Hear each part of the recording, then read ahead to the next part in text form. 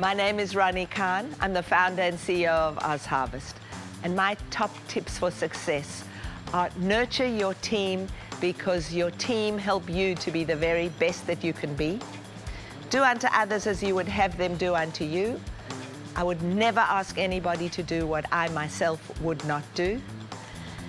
Infuse passion and energy into what you do. And if you don't love what you do, don't do it. Find what it is that you love to do. Being honest, authentic, and acting with integrity, I think are the most important values that any leader can have. And my final tip would be treat everybody with the respect they deserve, regardless of where they sit in the organization.